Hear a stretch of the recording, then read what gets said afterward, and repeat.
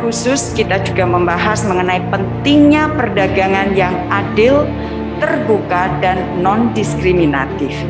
Perdagangan yang adil, terbuka, dan non-diskriminatif akan berkontribusi banyak bagi pemulihan ekonomi.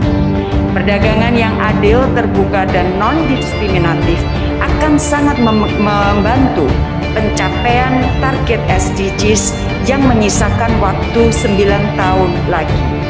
Saya menekankan agar berbagai kebijakan ekonomi hijau ditempatkan dalam konteks pembangunan berkelanjutan. Hanya dengan demikian, sustainability yang sesungguhnya akan dapat tercapai.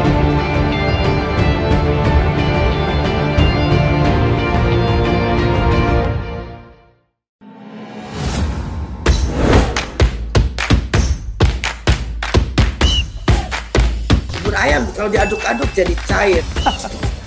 Seriously? Diaduk kayaknya ya.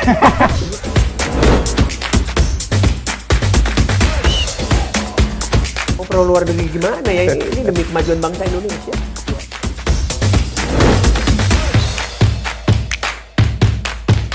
isu kebangkitan uh, PKI ini uh, dihentikan.